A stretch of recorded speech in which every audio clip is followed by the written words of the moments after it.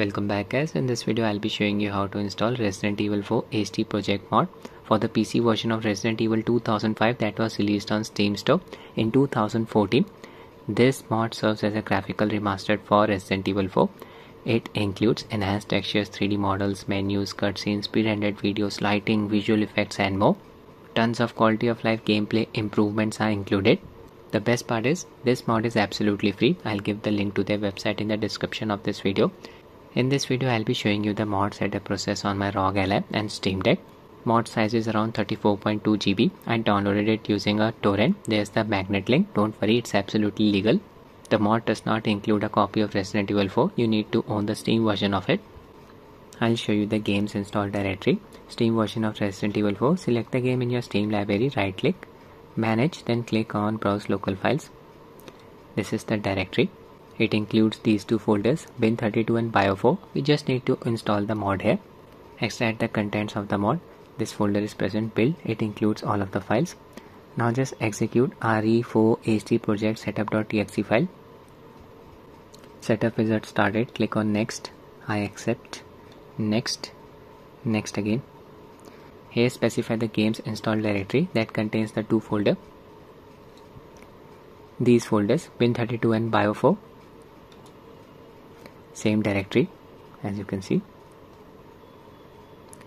Next download an up-to-date version of RE4 tweaks checked. Next install wait for the process to complete this will take some time. A bio4 backup folder has been created it will be deleted automatically after the setup process is complete. The mod has been installed. You can verify this very easily. Just open the games install directory, then open bin32 folder. Mod file should be present here. RE tweaks, dinput 8.dll and dinput 8.ini. We are ready to run the game. My Ally is running on BIOS version 337. I've installed the latest stable GPU drive from AMD, Adrenalin version 24.3.1. I've set the UMA buffer size to 4 GB I'll show you adherence settings for the game FreeSync enable, VSync disable, anti-lag setting enable, RSR disable using 25 watts manual profile? All the power values set at 25 watts. CPU boost disable.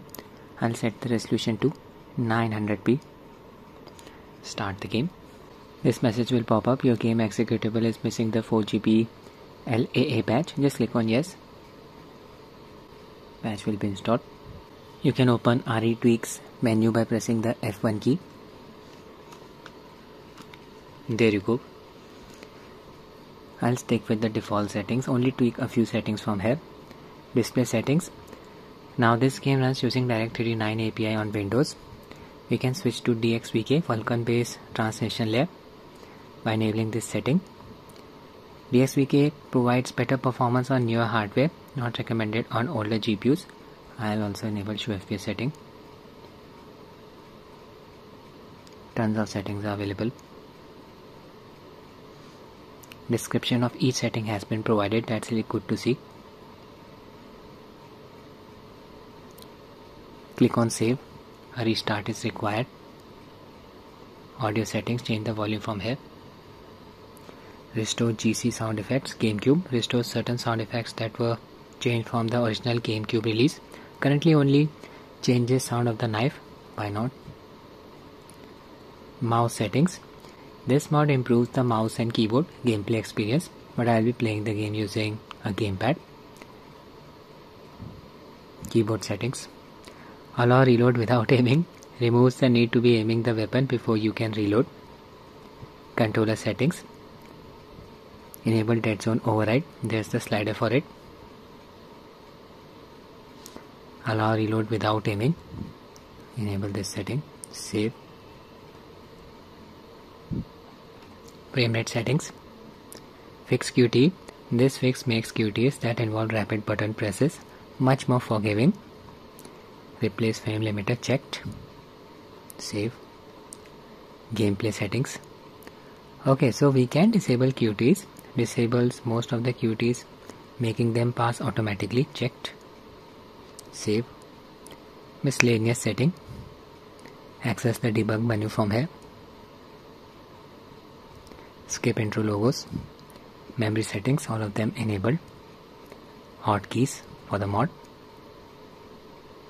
Close the menu by pressing the F1 key again. Quickly restart the game. It will be running using the DXVK Vulkan now. Afterburner overlay showing that Vulkan FPS counter. Video settings resolution 900p 120hz full screen enable frame rate set to fixed 60 fps game does not support 120 fps anti-aliasing set to 2 times. Motion blur disabled. Shadow quality set to high. Texture quality HD there's Leon. I am in this creepy village. Here we are getting around 60 fps APU power draw is around 13 watts. Total power draw is around 16 watts. You should be getting a playtime of around 3 hours on a full battery. The textures are looking so sharp. Small display of Ally does not do justice to this mod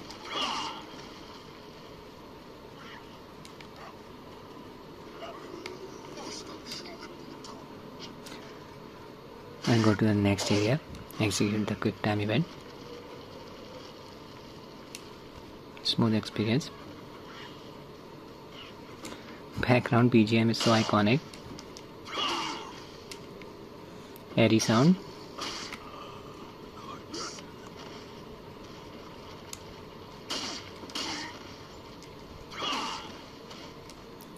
I want you to perform a suplex go upstairs I need to drop down. Take this route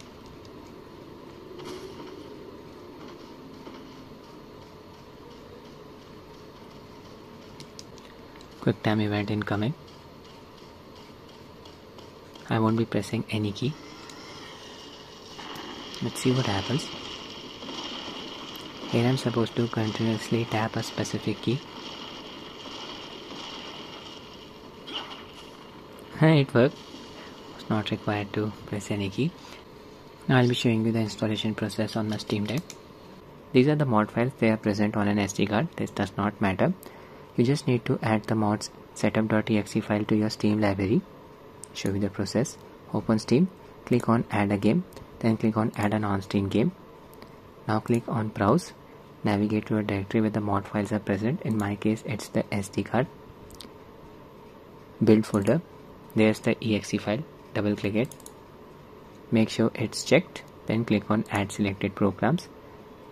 Look for the setup.exe file. There it is. Selected. Click on the settings cog here. Click on properties. Click on compatibility. Check this box. Force the use of a specific steam play compatibility tool. I'm using GE-Proton version 9-2 just use the latest version of GE-Proton click on play. Setup will start running in the background. Click on next. I accept. Next. Next. Here you need to specify the games installed directory. The default directory is not going to work. Click on browse. I have installed the game on Deck's internal SSD I'll open Z drive. Open home folder. Open deck folder. Then you need to open dot .local folder. Open share folder. Scroll down until you find steam folder then look for steam apps folder. There it is. Then open common folder. Here resident evil 4 should be present. Found it resident evil 4 double click. This is the directory. Just click on ok. The path has been specified. Click on next. This setting check. Download an up-to-date version of RE4 tweaks next. Install. Wait for the process to complete. Some files are getting downloaded. Make sure deck is connected to an internet connection. Finally installation started installation has been completed. We can verify it. Just open the games install directory. Finish. Open bin32 folder. The mod files and folder should be present here. Re4 tweaks. Dinput 8.ini and dinput 8.dll in order to get the mod working we need to add a launch option to the game. Just select the game in your steam library. Click on the settings cog here. Click on properties click on general under launch options add this command. I'll give it in the description of the video. You can copy it from there and paste it here. I'm using GE-Proton version 9-2 as the compatibility layer. Switch to steam game mode. We are ready to run the game. Now you can remove the mod setup file from your steam library. Right click manage remove non-steam game from your library. Resident evil 4 launch it this prompt will show up. Your game executable is missing the 4GB patch. Just tap on yes. We are in. Settings. 800p resolution full screen enabled. Frame rate pick 60 fps anti-aliasing I'll just set it to off. Motion blur disabled as well. Shadow quality high texture quality HD I'll enable RE4 tweaks menu by pressing the F1 keyboard key. There you go this game runs using DXVK by default on Steam Deck. I'll only tweak one setting from here. Disable QTEs go to gameplay. Check the setting disable QTE that's it. Click on save. Close the menu by pressing the F1 key again. Load the game. I'll keep the gameplay short. Yeah there's Leon we are getting a solid 60 fps that's really good to see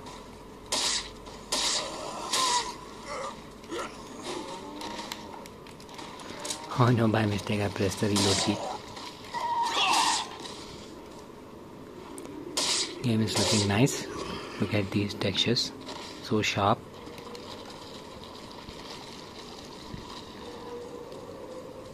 I'll head to the next area take the shortcut kill this guy quickly. Good to see mods working on SteamOS as well. Linux base.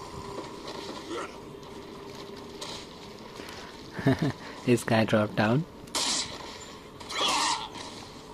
Didn't happen the last time.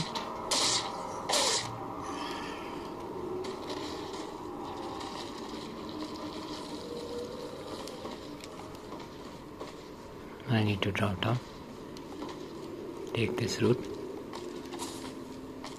And go to the gate.